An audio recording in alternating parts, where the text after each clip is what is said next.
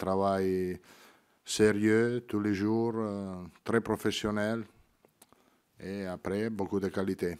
Peut-être qu'il va jouer, peut jouer 60 minutes, 70 minutes. S'il va sur la banque, peut-être qu'il va jouer 30, 40 minutes.